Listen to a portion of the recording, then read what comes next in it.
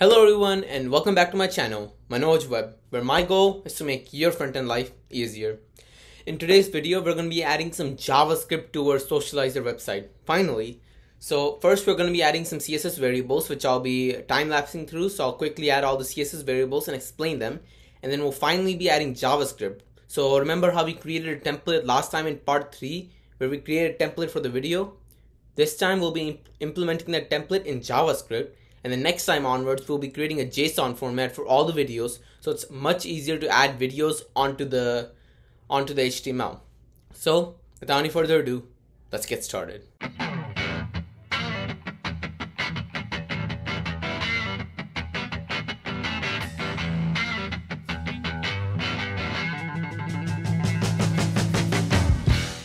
Alright, so let's get started by first we're gonna add CSS variables. So I'll just time lapse through this. I'll find everything everywhere where I need variables and I'll just put them in the root over here.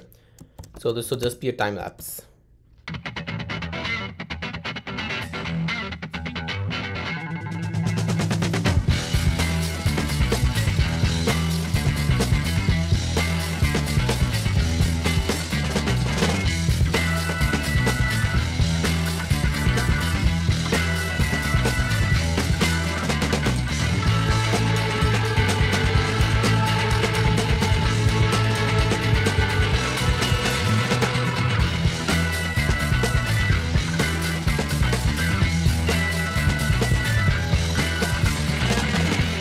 So we've got all the variables here and I've closed all of these.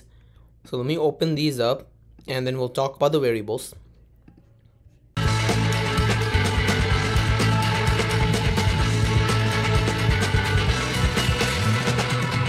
So for the variables I have the body column. For the grid columns I have gotten changed this to body calls. The header columns the logo image size the na navigation font size the navigation transition color so this color right here over here. The main padding the main rows for the grid. The top section width the total width. The columns the width for the search bar the height for it, the padding and the profile width. Video gap and video width. As of right now i think these are the ones we would need to make it more responsive which we will be we will do in a later video for now, we've gotten all the CSS variables and now we can move on to the JavaScript. This was just to prepare us for later videos right now. So for the JavaScript, let me add the script tag over here first. So script src script.js. So it'll just connect to the script.js. In the script.js, we'll have a function which creates a video. Function create video. And it will take in so for that we're going to need access to the body. Because we'll be adding the videos to the body. And I think that's really the only thing we need outside of the function and we can have a function to create the video.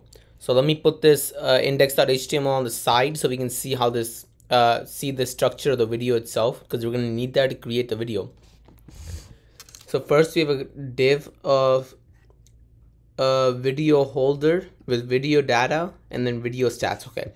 So first thing we have video holder const video holder equals document dot query select not document dot query so dot create element div and you know what instead of create I'll do that in a later video. For now, I'll leave it to this.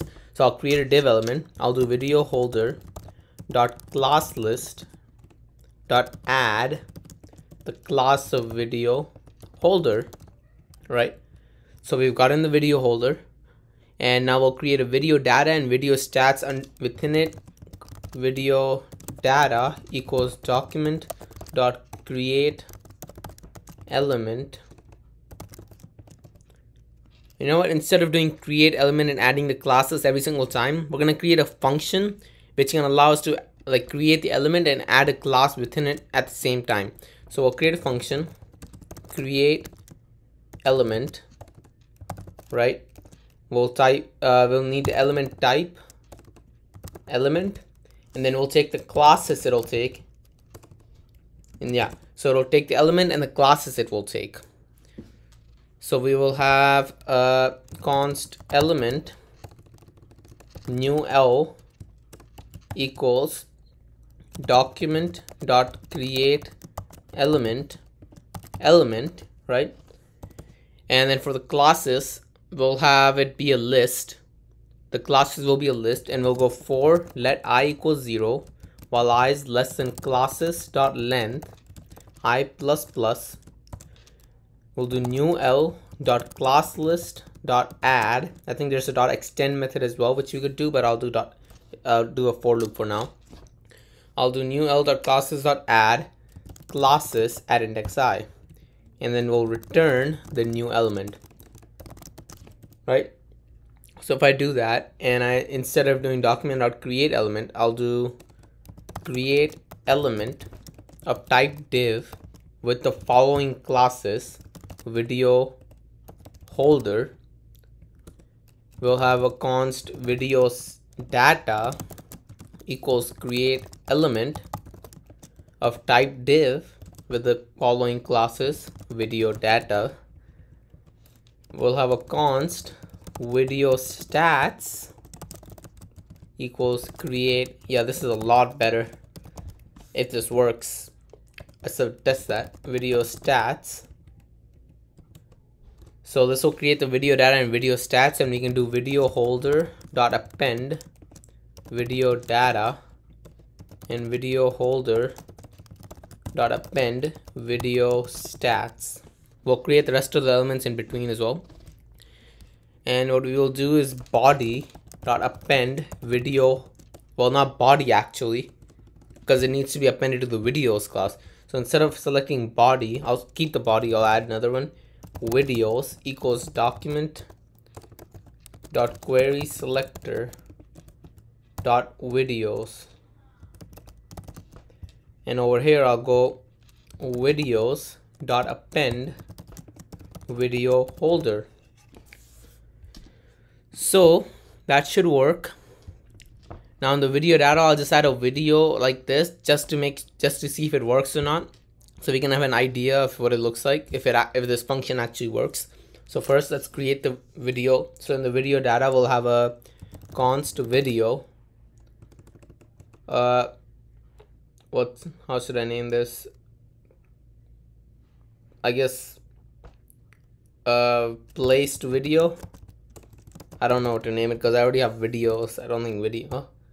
it's video so I guess I'll just do video equals create element of type video with the following classes class equals video so how would I give it controls and loops Hmm, that's weird. Or, or, you know what I can do? I can do this. Video data dot inner HTML equals this.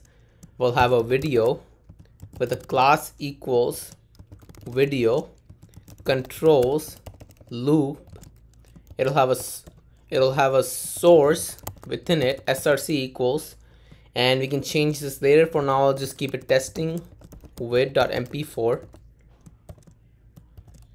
and end it off with a video tag. So we'll make that the inner HTML now let's see how that works. So I save that. And not what is that? Okay I'll just do create video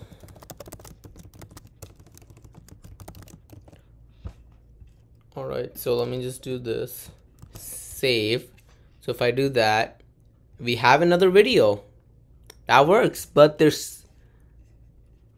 Okay, the gap between them is really short. Let's add a bigger gap. So video gap, let's make that like 2em. I don't think that changed.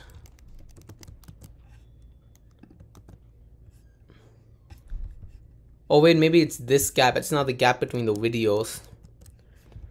So that's a problem. dot videos gap 20 pixels I don't know 2em maybe I need to, I'll give it a display of flex uh display flex flex direction column and then justify content center align items center.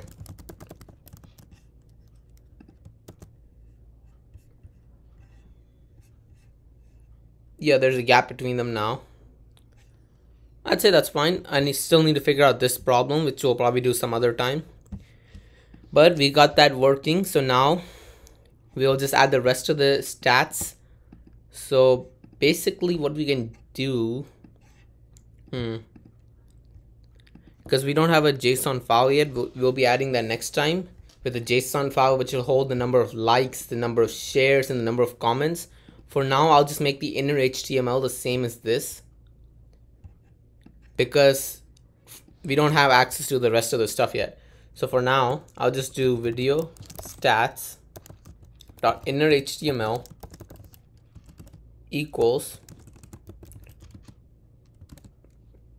this this and that should be fine. So if I save this and create video let me create like two videos right? Save refresh. Yeah we got three videos. They're all loaded but uh, there's a big gap here. That's probably because of the styles I just added I'll just get rid of the justified content and line items control R. No that did not do it. Let me give this a border. 2 pixels solid red. Okay so there's a big problem around there.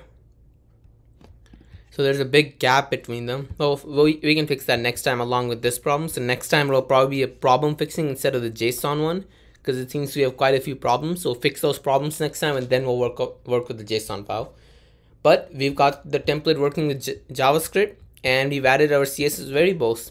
I think we can call it done for today. If you guys have any questions, you can put them in the comment. Any suggestions, please put them in the comments. I would high, I would greatly appreciate them. I hope you enjoyed. Make sure to like, subscribe, and share. And see you next time.